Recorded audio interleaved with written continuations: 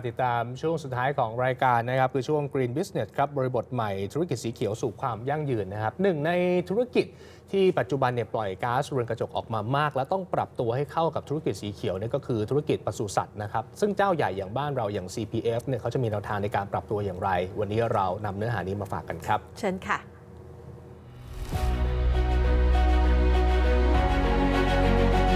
ที่บอกว่าธุรกิจที่เป็นความยั่งยืนเนี่ยมันเป็น เรียกว่าทางเลือกหรือว่ามันเป็นโอกาส จริง ๆ มันเป็นสิ่งที่เราเรียกว่าทุกคนควรจะทำและทุกคนต้องทำโอกาสทางธุรกิจก็คือว่าถ้าเราทำได้ดี เพราะฉะนั้นตัวเราเองแหละจะเข้มแข็ง แล้วเราก็อยู่ในสังคมได้ อันนี้ก็เป็นสิ่งที่พี่มองว่ามันไม่ใช่ว่าเราทำก่อนคนอื่นแล้วจะมีโอกาส แต่เราควรจะเดินหน้าไปกับคนอื่นพร้อม ๆ กัน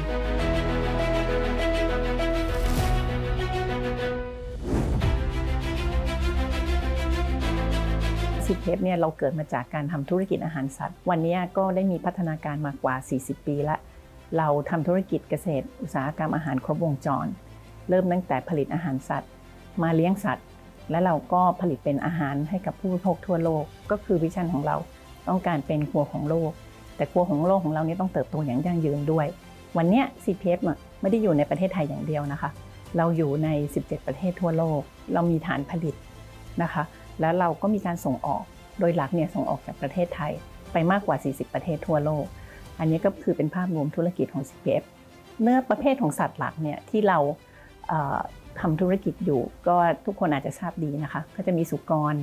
มีไก่เนื้อ มีไก่ไข่นะคะ เราก็มีเป็ด มีธุรกิจกุ้ง ธุรกิจปลา นี่ก็จะเป็นธุรกิจหลักของ CPF นะวันนี้ค่ะ มันเป็นความท้าทายไหม มันเป็นความท้าทายตั้งแต่เราเข้าสู่ธุรกิจ เราตระหนักดีว่าเราทำธุรกิจแล้วเนี่ยเราต้องไม่ให้เกิดผลกระทบกับสิ่งแวดล้อมหรือเกิดให้น้อยที่สุด เราผลิตอาหารสัตว์ยังไง ให้มีไม่มีผลกระทบกับชุมชน ก็คือต้องไม่มีเสียงดังไม่มีฝุ่นออกไปให้กับชุมชน เป็นที่เดือดร้อนการเลี้ยงสัตว์แน่นอนเราตระหนักว่าสัตว์เนี่ยจะปล่อยก๊าซมีเทนออกมาใช่ไหมคะเราก็ต้องพัฒนาการเลี้ยง เราทำมานานแล้วอย่างเช่นฟาร์มสุขของเราวันเนี้ยเราก็ใช้ผลิตมูลสัตว์เนี่ยผลิตเป็นไบโอแก๊สนะคะ พอเป็นไบโอแก๊สเนี่ยเราก็ใช้ไบโอแก๊สเนี่ยเป็นพลังงานทดแทนในฟาร์มเลี้ยงสัตว์เราเลย เราทำก๊าซไบโอแก๊สในฟาร์มสุกรของเราใช่ไหมคะน้ำเนี่ยเราเอามาพัฒนาปรับปรุงเป็นปุ๋ย เพื่อแบ่งปันให้กับชุมชนได้ด้วย เหล่านี้เนี่ยก็เป็นสิ่งที่เราพยายามทำอันนี่ก็จะเป็นคล้ายๆ circular economy เราก็ตระหนักในเรื่องนี้มาตั้งแต่เริ่มต้นทำธุรกิจ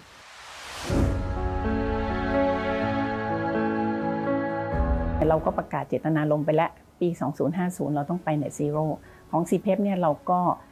ใช้มาตรฐาน science base เข้ามา เรียกว่าประกบการทำงานของเรา ประเทศไทยก็ประกาศเจตนารมณ์ไปแล้วว่าเราจะต้องไปสู่ net zero เหมือนกัน ดังนั้นเนี่ยการทำงานของภาครัฐกับภาคเอกชนอะจริง ๆ เราก็เห็นว่ามันก็ต้องมีกระบวนการทำงานที่สอดคล้องกันไปทิศทางเดียวกัน เพราะจริง ๆ เรื่องการปล่อยคาร์บอนเนี่ยมันไม่ใช่จำกัดเฉพาะว่าเราจะต้องมาใช้พลังงานทดแทน บางทีเราไปดูเรื่อง waste เรื่องการกำจัดขยะ เหล่านี้ก็จะมีส่วนผสม เล็กๆ น้อยๆนะคะหรือการจัดซื้อวัตถุดิบที่มานำใช้ในการผลิต เหมือนนโยบายของเราที่เราใช้นะวันนี้คือไม่เขาไม่เผาก็คือพื้นที่ปลูกต้องเป็นพื้นที่ที่เหมาะสม แล้วก็เวลาจบกระบวนการปลูกเนี่ยก็ไม่เผาไม่ทำลายก็จะไม่เกิดฝุ่นขึ้นมา เหล่านี้ก็เป็นสิ่งที่เราต้องมุ่งมั่นไป ในขณะเดียวกันอะกรอบขององค์กรอะมันจะอยู่ได้ในเขตพื้นที่จำกัด ดังนั้นเนี่ยถ้าภาครัฐจะขับเคลื่อนทั้งหมดเนี่ยมันควรจะต้องมองในภาพใหญ่ของประเทศ แล้วก็มีนโยบายที่ชัดเจนที่มาสนับสนุนและส่งเสริม สิ่งหนึ่งที่เรามองนะคะ การทำไป Net Zero มันจะมีที่เขาเรียกกันว่า scope 3ก็คือเป็นเรื่อง supply chain ของเรา ซึ่งตรงนี้ supply chain เราก็ต้องมี SME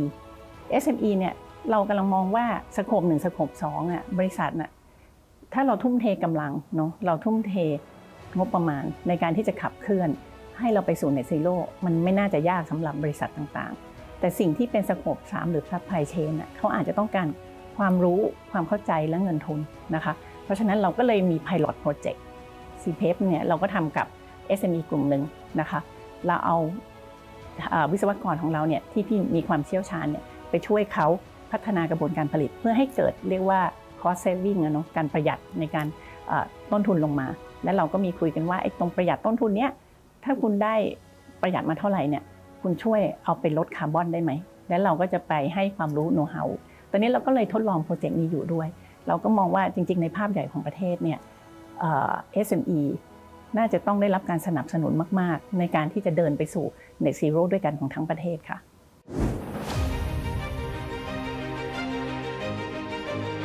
ก็ศึกษา Future Food อยู่หลายทางเลยทีม R&D ของเรานะคะ ไม่ว่าจะเป็นโปรตีนจากพืชหรือที่เรารู้จักกันใน plant based ตอนนี้ก็ CPEP ก็ขายในนามของ อ่อตรา Meat Zero นะคะเราก็ทำมาระยะหนึ่งแล้วนะคะแล้วก็มีการไปส่งออกไปหลายประเทศด้วย แล้วก็ยังขับเคลื่อนในส่วนนี้อยู่นะคะแล้วก็มีถ้าเป็นโปรตีนที่ไม่ใช่โปรตีนดั้งเดิมนอกจากที่มาจากโปรตีนของพืชแล้วก็จะมีเซลล์เบสอันนี้ก็อยู่ในขั้นพัฒนา แต่ด้วยเทคโนโลยีนะวันนี้ต้องยอมรับว่าต้นทุนมันยังสูงกว่าการเลี้ยงสัตว์นะคะเราศึกษาไหมเราศึกษาแน่นอน เรามีกำลังพอเรามีทีมวิจัยและพัฒนานะคะ เราก็ศึกษาเรื่องนี้อย่างต่อเนื่อง โดยตอนนี้เป้าหมายคือศึกษายังไงที่ทำให้ต้นทุนเนี่ยมันต่ำลง เพราะว่าสิ่งหนึ่งของ CPF เนี่ยเราต้องการสร้างอาหารมั่นคง ภายใต้วิสัยทัศน์ที่จะเป็นครัวของโลกอย่างยั่งยืน เพราะฉะนั้นเนี่ย keyword ที่สำคัญนะนะคะก็คือ 1. อาหารมั่นคงหมายความว่าทุกคนสามารถเข้าถึงได้ เพราะฉะนั้นถ้าราคามันยังแพงอยู่เนี่ยหรือราคายังสูงอยู่เนี่ยมันก็จะมีกลุ่มคนกลุ่มหนึ่งที่อาจจะไม่สามารถเข้าถึงได้ นะคะเพราะฉะนั้นเนี่ยเราก็ยังยึดมั่นในการที่ต้องพัฒนาต้นทุนการผลิต ที่ไม่มีผลกระทบต่อสิ่งแวดล้อมแล้วก็ดูแลชุมชนไปด้วยกัน โดยที่มีต้นทุนที่ต่ำลง ถ้าเราทำตรงนี้ได้เนี่ยไออาหารมั่นคงมันจะเกิดขึ้น รวมทั้งความยั่งยืนในเกี่ยวกับสิ่งแวดล้อมมันก็จะดีขึ้นต่อเนื่องต่อเนื่องกันไปอะค่ะ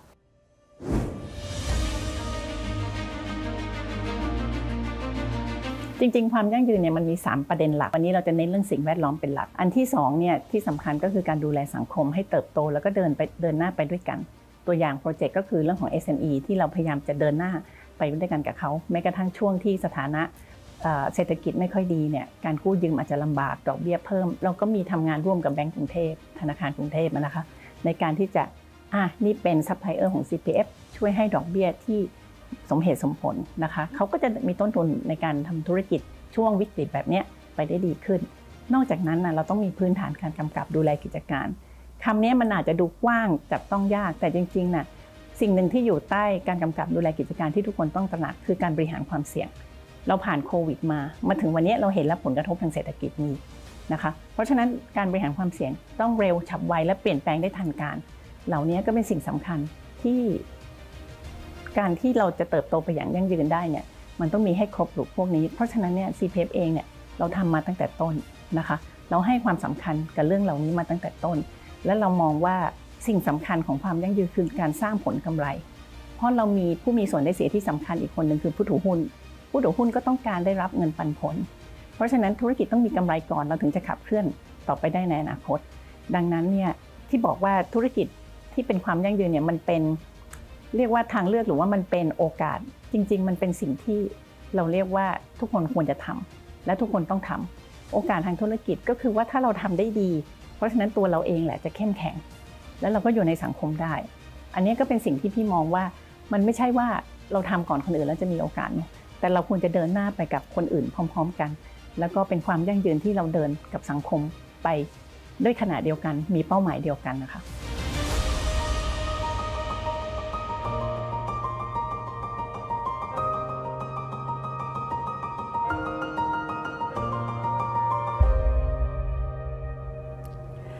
เป็นการถ่ายทอดภารกิจสำคัญนะคะ ในการเดินหน้าสู่เป้าหมาย Net Zero เพื่อเป็นครัวของโลกอย่างยั่งยืนของ CPF ละค่ะ